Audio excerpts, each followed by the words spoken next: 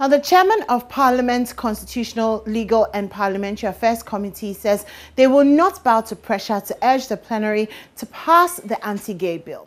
Kwame Anyimadu Antwi's comment comes in the wake of a week of intense public discussion coupled with the submission of 124 memoranda to the committee. The committee has been tasked by the Speaker to review the bill and present a report to the plenary when Parliament resumes later this month. Eight MPs jointly submitted a private bill to push for the criminalization of LGBTQI plus activities in the country. If what they are saying is wrong, at the end of the day, if we go into education, if we listen to everybody and we realize that what they are saying is wrong, we will not be intimidated by what they are saying to pass the law.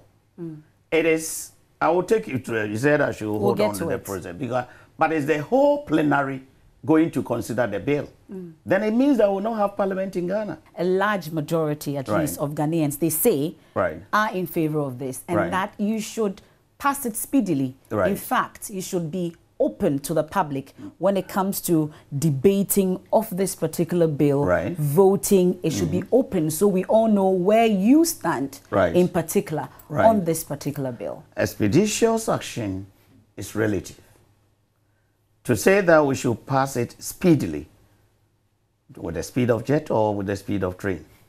As speedily because as you can. it depends on the, the procedure that we need to go through. Mm -hmm. Having received over 100 and, 100 and something petitions, which one do we ignore to actually speed up the process?